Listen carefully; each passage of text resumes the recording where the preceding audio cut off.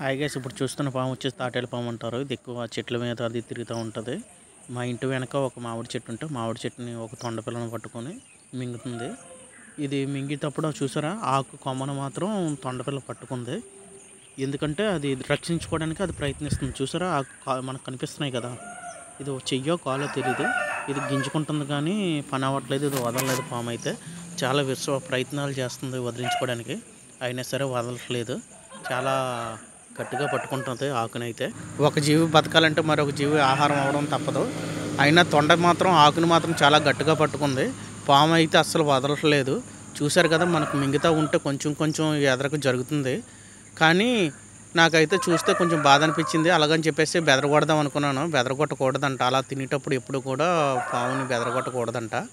ఇంటి దగ్గర చెప్పారు మా నాన్నగారు. చెప్పినా సరే నేను అలా చూస్తూ ఉన్నాను. అంతకుమించి మనం ఏం చేయలేం కదా.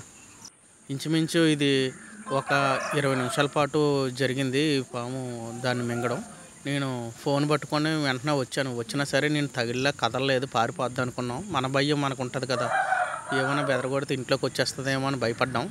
అయినా రాలేదు అది. దాని పని అది చేసుకుంటుంది. నేను చూస్తూ ఉన్నాను. ఇక్కడ చూస్తే ఆకుని మాత్రం పాము లోపలికి లాగేసుకుంది. చూశారు కదా? అంటే ఈ తొండపిల్ల పట్టుకోవడం వల్ల అది ఆకు లోపలికి వెళ్ళింది. ఆకును వదిలించుకోవడానికి చాలా ప్రయత్నిస్తుంది. ఆకు అయితే వదలట్లేదు అది.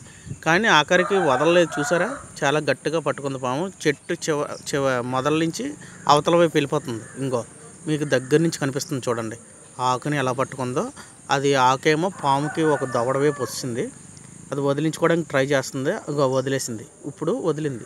అదిగో చూశారు కదా? వదిలేసి పూర్తిగా మింగేసింది. మింగిన తర్వాత అది వెనక్కి గొంతుకి దగ్గర నుంచి అలాగ జరుపుతుంది. జరుపుతూ ఉంటే అలా వెళ్ళిపోతుంది చూడండి. ఎక్కడుండేది? ఇప్పుడు ఎక్కడికి మారింది ప్లేస్? ఇంకా అలాగ అలాగ మింగేసి చెట్టు మీదకి వెళ్ళిపోయి అదిగో కదలలేకపోతుంది. అస్సలు కదలలేకపోతుంది పాము. చూడండి ఎంత బా ఎంత బాగా మింగిందో.